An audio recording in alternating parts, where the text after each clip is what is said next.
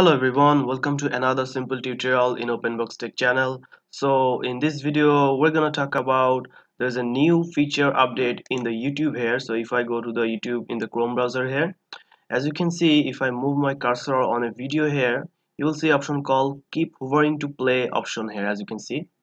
So if you move your cursor in the keep hovering to play option and the video will start to play here as you can see also you can move your timeline from anywhere without starting the video here.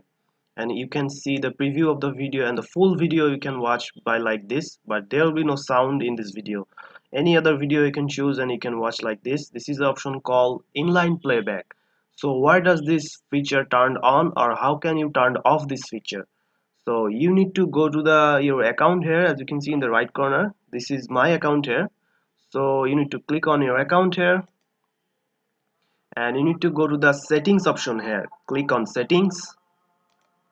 After opening the settings here in the left here you will see option called playback and performance. So you need to click on playback and performance here.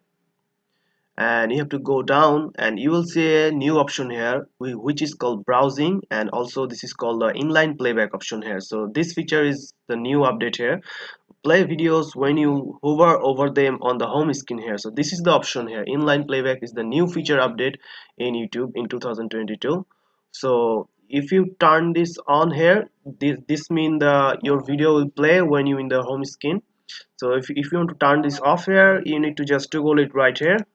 And you can see changes have been saved and this is turned off here. So if I go back to the YouTube here in the home page so it will refresh the home page here. And as you can see I'm moving my cursor here. And the videos are not popping up like again and it is not playing. It's going back to the previous previous version of the preview video. As you can see the three second preview video of the the old version of the YouTube here. So if you want to turn that off you can just go to the settings here and turn off the inline playback. And if you do not have this option but you want this option you can just go to the settings and check the inline playback is turned on. So if you want to turn it on just go to the settings and inline playback. So that's it. This is the new feature update in the YouTube here. So if you like this you can turn it on or off as you wish. So if you found this video helpful please subscribe to this channel and thank you for watching